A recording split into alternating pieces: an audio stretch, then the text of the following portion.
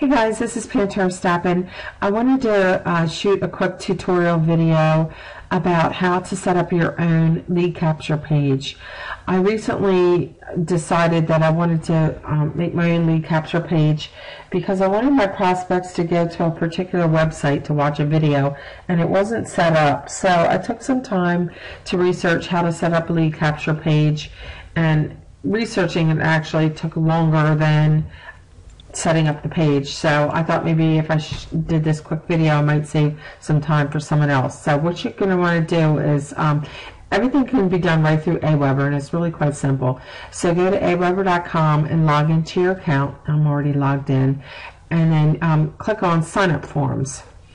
And then you're going to click on the screen button, create a sign up form. And it's going to load some templates that you can select from. Uh, there's a whole lot of them. Just pick one that you like. I like this one, the modern one. So click on that and then load template.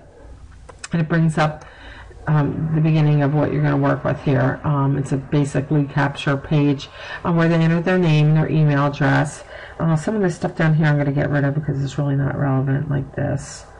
And um, I'm not going to use a footer, so I'm going to delete that. Okay, and I'm also going to change the type from inline to a popover where it hovers over the web page and it's usually unblockable. So um, now in here the header is where you're going to want to put your text. So you click on edit header, header and let me go in back and I already have some stuff typed up. Let me try to grab this image. It wasn't working before. I don't know why it wasn't letting me in, uh, paste it in, but I'll try it one more time. Nope, it's not working. All right, let me go back and grab the text and copy it and paste it into the header. Okay, and then I'm going to save it. All right, and here's what it's going to look like. Free video. You have been invited to join our exclusive community of internet marketers. We'll send you the free video to the email address that you enter below. Um, let me make this a little wider. Just grab this. You can extend it a little bit and um, okay that looks good enough. All right go to step two. Now you can enter your um, form name. So I'm going to call this intro to EN okay I'm not going to uh, integrate it to Facebook. And the thank you page um, since I want to put in my own URL to take them to a particular website I'm going to click on custom page. And let me go back and to my Word document and grab the URL that I'm going to use, copy that, and paste it in here. Okay. Oh, yeah, that looks right. Okay, and I'm going to have it open in a new window. Okay, now it's time, before you get to step three, it's time to save the work. Okay, so looks like it's been saved. So go to step three. And um, this is where you can choose for AWeber to host your form.